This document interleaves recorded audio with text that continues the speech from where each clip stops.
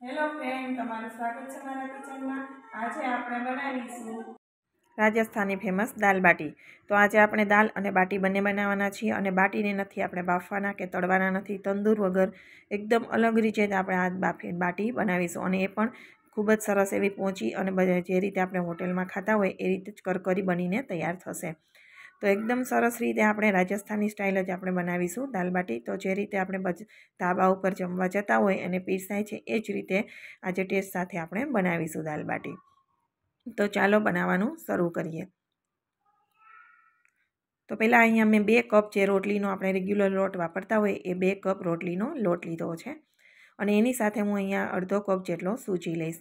તો મેં અહીંયા જાડો કરકરો લોટ નથી લીધો. આપણે ઘણા લોકો છે એ કરકરો લોટ લઈને બનાવતા હોઈએ છીએ, પણ હું હોટલવાળા જે રીતે ધાબાવાળા બનાવે છે ને, એ જ સ્ટાઇલમાં આપણે બનાવીશું.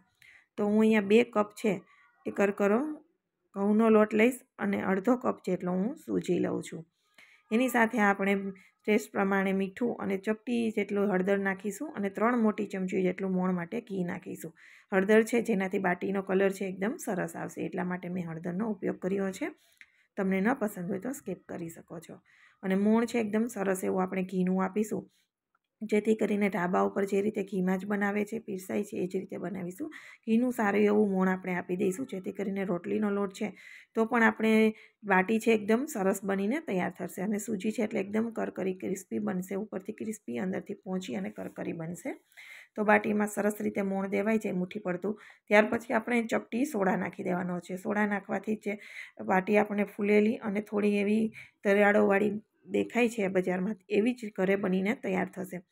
તો ચપટી એવો ખાવાનો સોડા નાખી અને પાણી આપણે જરૂરિયાત પ્રમાણે નાખતા જઈશું અને આપણે બાટીનો લોટ બાંધી લેવાનો છે. તો બાટીનો લોટ છે એ કઠણ બાંધવાનો છે અને કઠણ જ બંધાશે, કેમ કે સૂજી છે અને આપણે મોણ સારું એવું આપ્યું છે.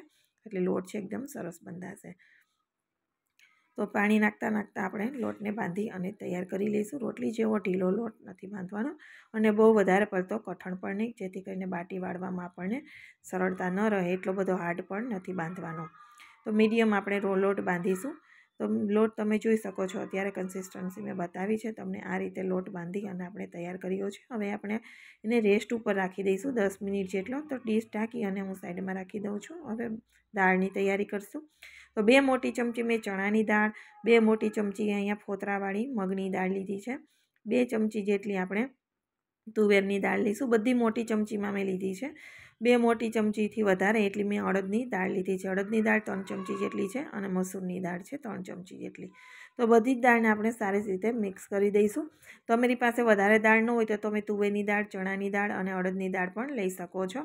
કે મગની દાળ, તુવેરની દાળ ને અડદની દાળ એવી રીતે પણ બે ત્રણ દાળ પણ લઈ શકો છો. પરંતુ મેં અહીંયા પાંચ દાળનો ઉપયોગ કર્યો છે. તો આપણે દાળને પહેલાં સારી રીતે મિક્સ કરી અને ધોઈ લઈશું. ધોઈ અને જે ઉપરનું પાણી ડોળવું હોય એ ફોતરાવાળું કે એ બધું આપણે કાઢી નાખવાનું છે.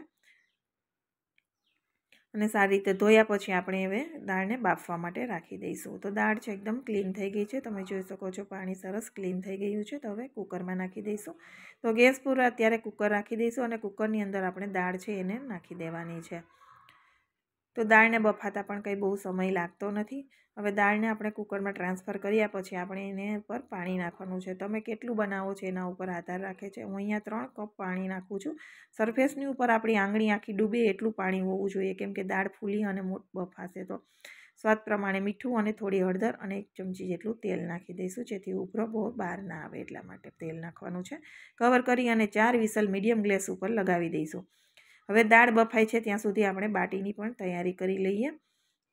તો બાટીને મસળી અને સરસ રીતે મિક્સ લોટને મસળી લેવાનો છે. ત્યાર પછી આ રીતે લોહો લઈ અને જે રીતે પહેલાં આપણે રોટલી અંદરથી ઘી લગાવીને વાળતા ને એ રીતે વાળી લેવાનો લુવો. આ રીતે લુવો વાળવાથી બાટી છે ને સરસ એકદમ પહોંચી તો અંદરથી થશે પણ કૂક કરવામાં સારી, સરળતા રહે છે. સરસ રીતે આખી બાટી એકદમ સરસ કૂક થઈ જાય છે. વચ્ચેથી પણ કાચા જેવું રહેતું નથી. મારી બેબીને પણ બાટી બનાવી છે. તમે જોઈ શકો છો કે એ પણ સાથે સાથે બધું જ કરે છે. બધું ગેસ પ્લેટફોર્મ ઉપર બેસીને સાથે સાથે ચાલુ જ હોય છે એનું. તો એ પણ બાટી બનાવે છે એના જેવી નાની નાની. તો અત્યારે હું અહીંયા લુવા નાના બનાવી તમને બે લુવા બતાવું છું. આ રીતે વાળી દેવાનું છે. અને લુવો ગોળ ગોળ આપણે બોલ જેવો વાળી દઈશું. તો આપણે આ બાટીને બાફવાના પણ નથી અને તળવાના પણ નથી. અને તંદૂર વગર આપણે બનાવીએ છીએ. પેનમાં બનાવીશું. તો અત્યારે મેં બાટીને આ રીતે હું બધી જ બાટીને વારી લઉં છું. એક પેનમાં બાર બાટી છે, મારે તો બાર બાટી આપણે આવી જશે અપે પેનમાં. તો મેં બાર વાળી દીધી છે, બાકીની આપણે જ્યારે કૂક થતી હોય ત્યારે જ કરી લઈશું, કારણ કે બધો સમય વાર લાગે છે બાટીને કૂક થતાં. તો ગેસ પર અહીંયા મેં ગેસની ફ્લેમ અત્યારે એકદમ લો જ રાખવાની છે અને અપે પેન રાખી દીધું છે. એની ઉપર ઘીથી હું ગ્રીસ કરી લઉં છું. તો બાર અપે છે, તો બાર અપમાં આપણે પહેલાં બાટીને ગોઠવી દઈશું. વીસથી પચીસ મિનિટ જેવો સમય બાટીને કૂક થતાં લાગી જાય છે. એટલે કૂક થવામાં સમય લાગે છે તો બાટી આપણે પહેલાં સ્ટાર્ટ કરવી પડે. દાળમાં એટલો સમય નથી લાગતો, પરંતુ બાટી કૂક થતાં લો ગેસની ફ્લેમ ઉપર ધીમે ધીમે આપણે ફેરવતા ફેરવતા કૂક કરીએ એટલે સમય લાગે છે. તો બધા ખાનાની અંદર હું એક એક બાટીને રાખી દઉં છું. અને ઉપર ઘી કે તેલ કોઈ પણ વસ્તુ લગાવો એટલે ઉપરનું પડ છે એકદમ ક્રિસ્પી, ખસ્તા બનીને તૈયાર થશે. અને બાટી જેમ કૂક થશે ને એમ ફાટતી જશે એટલે આપણને ખબર પડી જશે કે આપણી બાટીનું મોણ છે એ પરફેક્ટ થયું છે. કવર કરી રાખી દઈશું અને અત્યારે દાળ અને ચાર વિસલ થઈ ગઈ છે. તો આપણે ચેક કરી લઈશું કે દાળ આપણી સરસ એકદમ બફાઈ ગઈ છે. આમાં બ્લેન્ડર કે કોઈ વસ્તુ થોડી અધકચરી અમુક ચણાની દાળ આખી, થોડી મગની દાળ વધારે કૂક થઈ ગઈ. તો આ કન્સિસ્ટન્સી એકદમ પરફેક્ટ છે. દાળ એકદમ સરસ બફાઈ ગઈ છે. એમાં કોઈ વિસ્કર કે બ્લેન્ડર મારવાનું નથી. હવે વઘાર મારી દઈશું તો ગેસ પર પેન રાખી અને મેં ત્રણ ચમચી જેટલું ઘી નાખી દીધું છે. તમે તેલનો પણ ઉપયોગ કરી શકો છો. અડધી ચમચી રાઈ, એક તજનો ટુકડો, એક તમાલપત્ર અને અડધી ચમચી જેટલું આપણે જીરું નાખીશું. બે લાલ મરચાં નાખીશું સૂખા અને આઠથી દસ જેટલા લીમડાના પાન નાખી દઈશું. અને વઘારને એકદમ સરસ રીતે ચટકવા દેવાનો છે. ચપટી જેટલી હિંગ નાખી દઈશું અને હું અહીંયા બે ચમચી જેટલી આદુ મરચાંની પેસ્ટ નાખું છું. જો તમને લસણ પસંદ હોય તો તમારે લસણની પેસ્ટ પણ તમે અહીંયા નાખી શકો છો અને ઉપરથી લસણની ચટણીની તરી પણ સાઈડમાં બનાવી શકો છો. પરંતુ મેં લસણ ડુંગળીનો ઉપયોગ નથી કર્યો. આદુ મરચાંની પેસ્ટ સારી રીતે સતળાઈ જાય ત્યાર પછી આપણે ટમેટાં નાખી દઈશું. પરંતુ તમને જો લસણ ડુંગળી પસંદ હોય તો તમારે ઝીણી ઝીણી સમારેલી ડુંગળીને ગોલ્ડન પિંક થાય ત્યાં સુધી કૂક કરવાની. ત્યાર પછી ટમેટાં નાખવાના. તો હવે ટમેટાં નાખી અને સારી રીતે મિક્સ કરી દઈશું અને થોડા બેથી ત્રણ મિનિટ જેવા આપણે ટામેટાને તેલ ઘીની અંદર કૂક કરવાના છે. ત્યાર પછી મસાલા કરીશું. સ્વાદ પ્રમાણે થોડું એવું મીઠું અને એક ચમચી કાશ્મીરી મરચું મેં નાખ્યું છે. મીઠું આપણે દાળમાં પણ નાખ્યું છે, એટલા માટે ટમેટાં પૂરતું જ નાખીશું. અને હળદર મેં દાળમાં નાખી છે, એટલે અત્યારે નથી નાખી. કવર કરી અને ટમેટાને સારી રીતે કૂક થવા દેવાના છે, ઓઇલ સેપરેટ થાય ત્યાં સુધી. તો આપણે ફરીથી મિક્સ કરી દઈશું અને આપણે ટમેટા સરસ રીતે કૂક થઈ જવા જોઈએ. ત્યાર પછી આપણે એની અંદર દાળ નાખી દેવાની છે. તો તમે ડુંગળીનો વઘાર મારો તો પણ પહેલાં ડુંગળી અને પછી ટમેટા, પછી આ રીતે કૂક થવા દેવાના, ત્યાર પછી એની અંદર નાખવાનું છે દાળ. તો અહીંયા ગ્રેવી ચોટી હતી, બાઉલમાં મેં બે ચમચી જેટલું પાણી નાખી દીધું છે અને એને પણ ગ્રેવીને ટમેટાની અંદર નાખી દીધી છે. હવે આપણે દાળ નાખી દઈશું બાફેલી. તો દાળ છે એ ધાબા સ્ટાઇલ જ બનશે, એકદમ સરસ એવી. બફાતા એકદમ સરસ બફાણી છે અને અડધા દાણા ખૂબ સરસ રીતે કૂક થયા અમુક આખા તો. આ રીતે દાળ બાટીમાં જ આપણે દાળ હોય છે, એકદમ. આપણે જે દાળ ભાતની દાળ જેવી હોતી નથી. ઘોડી ઘાટી અને અચકચરી હોય તો ટેસ્ટમાં પણ ખૂબ જ સરસ લાગે છે દાળ બાટીની દાળ. કુકરની અંદર મેં અડધો કપ જેટલું પાણી નાખી અને દાળ ચોટી હતી એ પણ લઈ લીધી છે. અને દાળને સરસ રીતે મિક્સ કરી દઈશું. અને હવે આપણે દાળની કન્સિસ્ટન્સી તમને કેવી ઘાટી જોઈએ છે એ પ્રમાણે પાણીનો ઉપયોગ કરવાનો છે. દાળ તમને વધારે ઘાટી પસંદ હોય તો એ પ્રમાણે થોડીક પાતળી પસંદ હોય મીડિયમ કન્સિસ્ટન્સીની તો એ પ્રમાણે. અમને મીડિયમ પસંદ છે એટલે હું મીડિયમ રાખીશ અને થોડી ઠંડી થાય ને એટલે આ દાળ વધારે પડતી ઘાટી થઈ જાય છે એટલા માટે મીડિયમ કન્સિસ્ટન્સી રાખવાની છે.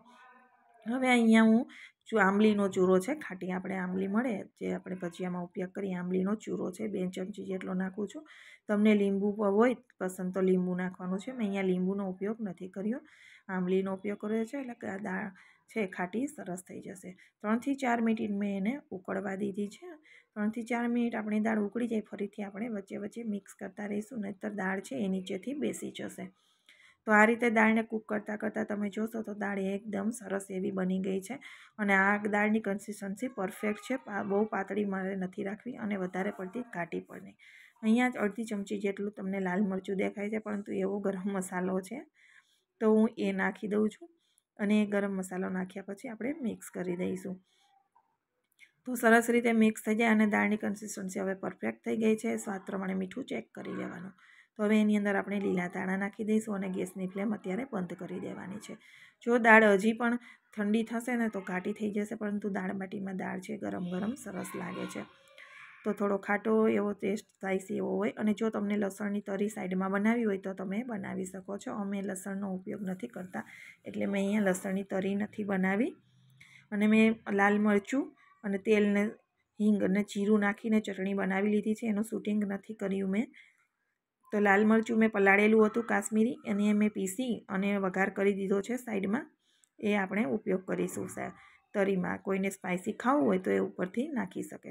તો તમને હું નજીકથી દાળ બતાવું છું કે દાળની કન્સિસ્ટન્સી એકદમ મસ્ત, ખાટી પરફેક્ટ છે. કારણ કે આપણે દાલ બાટી બજારમાં તમે ખાવા જાઓ તો એની દાળ પણ આ જ રીતે હોય છે. પાતળી પણ નહીં અને વધારે પડતી ઘાટી પણ નહીં. તો આપણી દાલ બાટીની દાલ બનીને તૈયાર થઈ ગઈ છે અને બાટીને પણ સમય ઘણો થઈ ગયો છે તો આપણે ચેક કરી લઈશું. લો ફ્લેમ ઉપર આપણે રાખી છે. તો હવે નીચેનો ભાગ છે સરસ શેકાઈ ગયો છે. અને ઉપર આપણે ફરીથી ઘી લગાવી દઈશું અને પાર્ટને ચેક, ચેન્જ કરી દેવાનો છે. તો બાટીને કૂક થતાં વીસથી પચીસ મિનિટ જેવો સમય થઈ જાય છે એટલે બાટીને વાર લાગી જાય છે. તો ફરીથી ગ્રીસ કરી અને આપણે એનો ભાગ હવે ચેન્જ કરી દઈશું. તો નીચેથી તમે જોઈ શકો છો, ફાટી ગઈ છે બધી, ચિરાડો દેખાય છે. એનો મતલબ એવો કે આપણું મોણ છે એકદમ સરસ થયું છે અને સરસ રીતે કૂક થઈ છે. તો આ રીતે હું બાટીને ભરતી બાજુ ચેન્જ કરતાં કરતાં જ કૂક કરી લઉં છું. તો હું તમને એકાદી બે વાર બતાવીશ કારણ કે બધું બતાવું વીડિયો લાંબો થઈ જાય એટલા માટે હું બધું ન બતાવી શકું. પરંતુ બેથી ત્રણ વાર હું તમને આ રીતે ચેન્જ કરવાનું બતાવી દઈશ. તો ઘી લગાવતા જઈશું અને શેકતા જઈશું. તેથી ઉપરની બાટીનું લેયર છે ને એકદમ ક્રિસ્પી અને કલરફુલ થશે, અંદરથી સોફ્ટ તો ખાવામાં ખૂબ જ સરસ એવી ક્રન્ચી અને બનીને તૈયાર થશે અને ટેસ્ટમાં બહુ સરસ એવી બને છે. જો તમને હેલ્થ માટે હોય, તો તમે ઘીની જગ્યાએ તેલનો પણ ઉપયોગ કરી શકો છો અને કંઈ ન કરવું હોય તો પણ તમે અપે પેનમાં એમ જ ફરતી બાજુ ફેરવતા ફેરવતા કૂક કરશો ને તો પણ ચાલશે. બાટી તો ચોટશે નહીં અને સરસ એવી કૂક થઈ જાય છે. કારણ કે હવે ઘીનું પણ બધાની હેલ્થ માટે આપણે જોઈને વાપરતા હોઈએ છીએ, તો તમે એ રીતે પણ કૂક કરી શકો છો. તો તમે નીચેથી જોઈ શકો છો, નીચેનો ભાગ પણ સરસ શેકાઈ ગયો છે, તો હું આ રીતે બધી બાજુ ફેરવતા ફેરવતા બાટીને કૂક કરી લઉં છું કે બધી બાજુ એનો ગોલ્ડન બ્રાઉન કલર થોડો થઈ જાય ત્યાં સુધી આપણે એને કૂક શેકીશું. ત્યાં સુધી શેકવાની છે, પછી આપણે લઈ અને બીજી બેચ શેકવાની છે.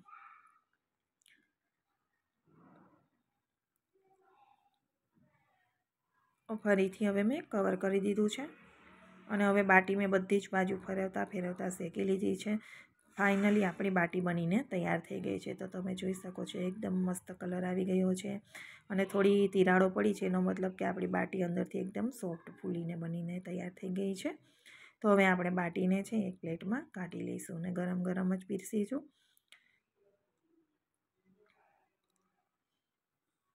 તો આ રીતે બાટી બનાવો તો સમય તો લાગે, પરંતુ ખાવામાં પણ સરસ બને છે. બાફવાની ઝંઝટ નહીં, તંદૂરની ઝંઝટ નહીં, કંઈ નહીં.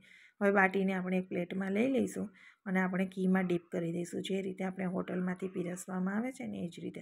પરંતુ તમને હેલ્થ માટે ઘી ન ખાવું હોય તો તમે એમ જ સીધા પણ પીરસીને ખાઈ શકો છો. તો આપણે ડીપ કરી દઈશું ઘીની અંદર બાટીને સરસ રીતે. જેથી કરીને જે તિરાડો છે એમાંથી ઘી અંદર જતું રહેશે અને બાટી અંદરથી એકદમ પહોંચી, આપણે ચૂરમાનો લાડુ હોય ને એવી સરસ પહોંચી અંદરથી થઈ જાય છે. કારણ કે ઘી છે અંદર સુધી ચાલ્યું જાય છે એટલા માટે. તો આ રીતે બધી બાટીને હું ડીપ કરી અને લઈ લઉં છું.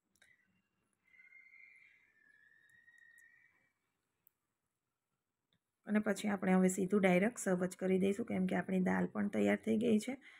તો હવે આપણે બાટીને સર્વ કરી દઈશું. તો બધી જ બાટી હું ઘીમાં પહેલાં ડીપ કરી અને કાઢી લઉં છું આ રીતે.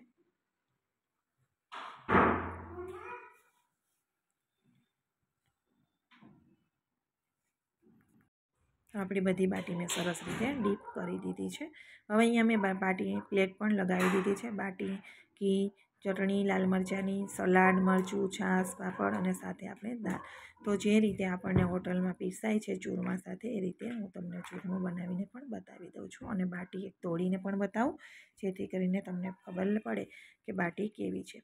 તો અહીંયા મેં તમને કીધું એમ મેં લાલ મરચાંની ચટણી બનાવી છે. સ્પાઇસી જોઈ કોઈને ખાવું હોય તો તમે ઉપરથી ચટણી આ રીતે નાખી શકો છો. તો હવે આપણે બાટીને હું નજીકથી તમને તોડીને બતાવું. એકદમ સરસ રીતે શેકાઈ ગઈ છે અને આપણે થોડી અલગ રીતે વાળી છે.